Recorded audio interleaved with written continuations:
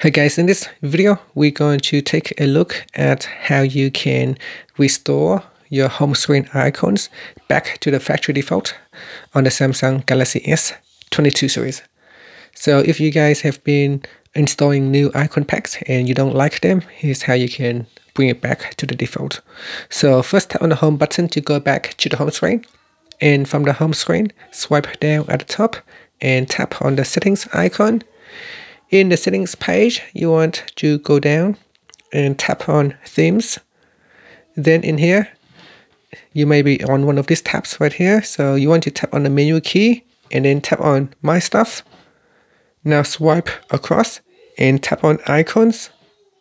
In icons, select default, then tap on applied now just wait for a few seconds for the phone to apply all the icons back to the default.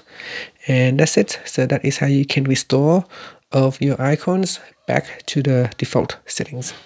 And that's it. Thank you for watching this video. Please subscribe to my channel for more videos.